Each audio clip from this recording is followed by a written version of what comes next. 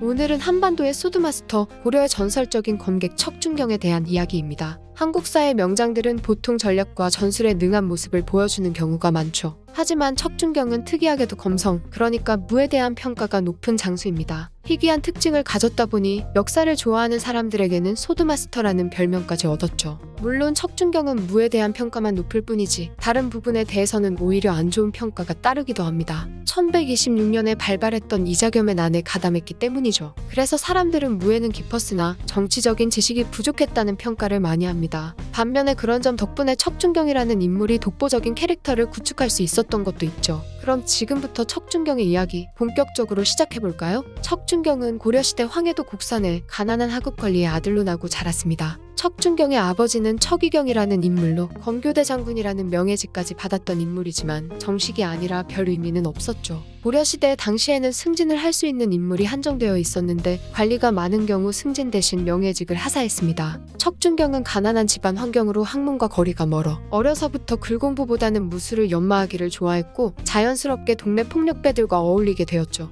무술에 능하다면 인재로 등용되는 것이 맞겠지만 당시 고려에는 문과밖에 없었습니다. 그러니까 무술을 아무리 잘해도 뽑힐 수가 없었죠. 척준경은 그나마 제한 없이 승진할 수 있는 하급관리직 서리를 준비했지만 실패합니다. 집안도 가난했기에 척준경이 무술에 전념하도록 해줄 여건도 없어 척준경은 졸지에 떠돌이 신세까지 추락했죠. 그러다가 운 좋게 계림공의 눈에 띄어 종자일을 하게 됩니다. 계림공은 문종의 셋째 아들로 큰 기대를 모으던 왕자였죠. 심지어 문종은 계림공을 두고 왕위 계승을 암시하는 말을 하기도 했습니다. 하지만 문종이 세상을 떠난 뒤 왕위를 이은 것은 선종이었죠. 그러나 왕위에 오른 선종은 11년 만에 세상을 떠나게 됩니다. 계림공이 숙종이 되는 순간인가 싶었지만 이번에 왕위를 이어받은 인물은 당시 11살밖에 안 되었던 현종이었죠. 애초에 선종은 자신의 아들에게 왕위를 이어줄 생각이었거든요. 하지만 현종은 어린 것을 빼고 보더라도 몸이 너무 약했죠. 1095년 계림공은 몸이 약하고 어린 자신의 조카를 제치고 왕위에 올라 숙종이 됩니다. 계림공이 왕위에 올라서면서 척준경도 자연스럽게 신분 상승의 기회를 잡게 되었죠. 척준경은 고려의 행정기관 추밀원의 말단 관리로 들어가게 됩니다.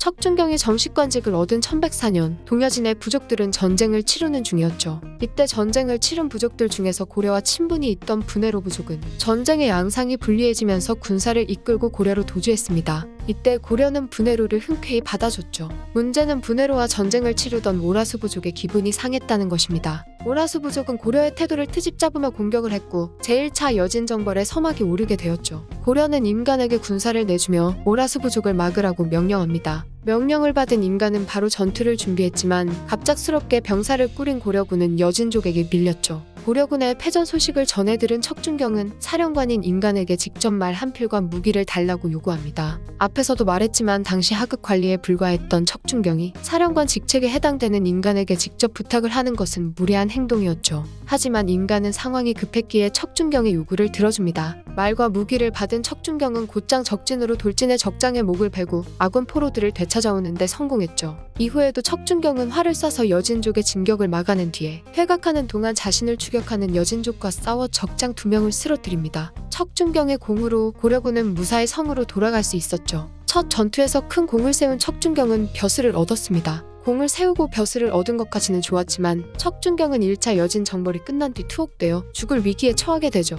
척준경이 무슨 이유로 투옥되었는지는 정확하게 나와 있지 않습니다. 아무튼 투옥되어 더 큰 활약을 못해보고 끝나나 싶었던 척준경은 별무반 윤관에 의해 다시 세상에 나오게 되죠. 별무반은 윤관이 제안에 만들어진 고려시대 특수부대로 여진족을 막아내기 위해서 직위에 상관없이 인재들을 모아둔 조직입니다. 척준경은 별무반에서 활동을 하게 되었죠. 척준경의 두 번째 활약은 예종 2년째에 다시 찾아옵니다. 고려는 국경 근처에서 활동하는 여진족의 움직임이 이상한 것을 감지하고 별무반을 국경으로 파견하죠. 국경으로 향하던 별무반은 함흥 인근의 석성에서 여진족에게 공격을 받게 됩니다. 윤관은 술로 여진족을 꼬드겨 방심하게 만들었죠. 척준경은 혼자서 가겠다고 말하며 칼 한 자루와 방패를 들고 성벽을 올라갔습니다. 성벽에 오른 척준경은 단숨에 여진족 추장 3명과 병사들의 목을 베었습니다. 아무리 술에 취했다고 해도 요새를 점령한 적을 상대로 성벽을 오르는 것은 사실 죽여달라는 행위죠. 척준경의 괴물 같은 모습을 본 고려군은 사기가 크게 올라 전쟁에 뛰어들었고 석성을 순식간에 함락시키는데 성공합니다.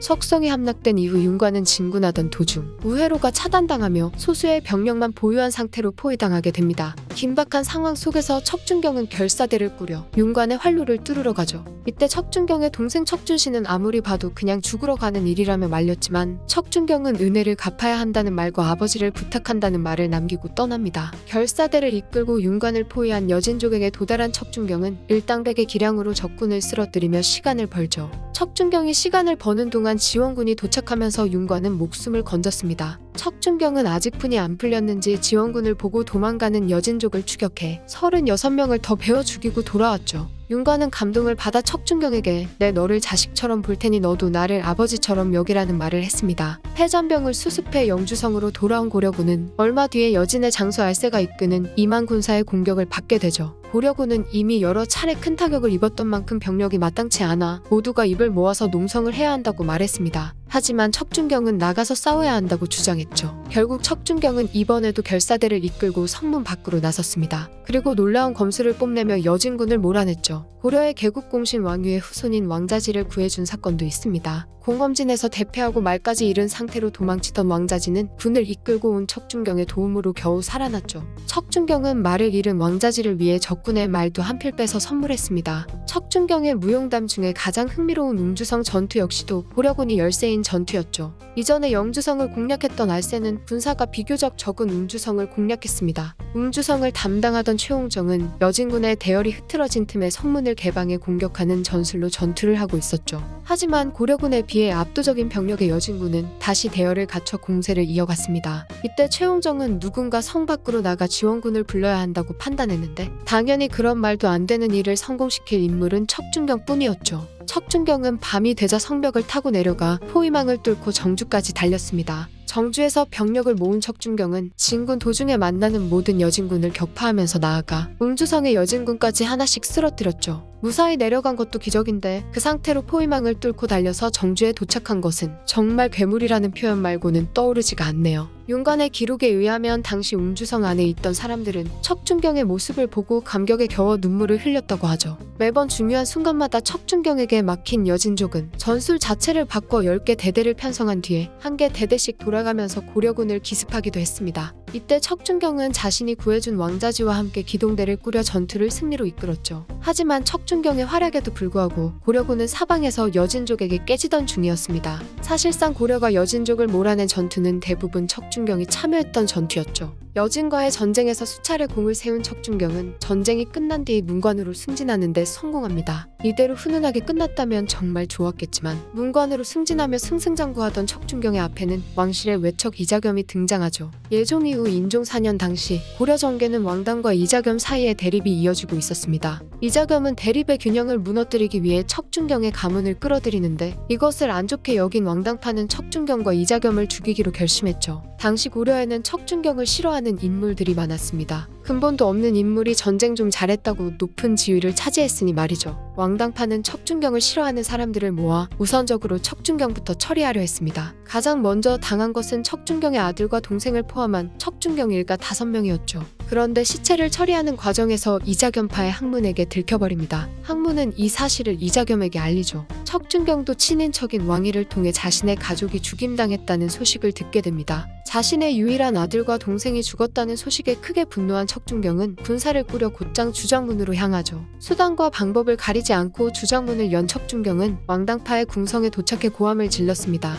왕당은 척준경이 대군을 끌고 왔다는 생각에 문 밖으로 나가지 못했죠. 그 사이에 이자겸은 왕당파의 집으로 쳐들어가 처자식을 납치했고 집을 불태웠습니다. 다음 날 아침이 밝았을 때 이자겸 척준경파와 왕당파는 각자 군사를 꾸려 대치했는데 이때 인종이 직접 이들의 앞에 나타났죠. 인종은 분노에 눈이 뒤집힌 척준경을 달래며 대립을 멈추라고 지시했습니다. 하지만 척준경은 끝내 칼을 뽑아들고 싸움을 시작하죠. 결과는 척준경과 이자겸의 승리였습니다. 이자겸은 인종을 협박해 왕당파 잔당을 끌어내리는 지경까지 갔고 척준경은 분노를 이기지 못해 군문을 불태운 뒤 나오는 자들을 모두 죽이자고 제안하죠. 부하들은 척준경의 방화 계획을 듣고 소스라치며 반대했지만 끝내 방화를 저질렀고 불은 내전까지 퍼져나갔습니다. 두 사람이 일으킨 난이 성공하게 된 것이죠. 이자겸과 척준경은 궁궐을 꿰차고 들어갔습니다. 인종은 이자겸에게 왕위를 넘기겠다고 은근히 떠보면서 동시에 척준경에게는 자신이 베풀어준 신임을 상기하도록 했죠. 척준경은 인종이 베푼 은혜를 떠올리며 충성을 맹세했습니다.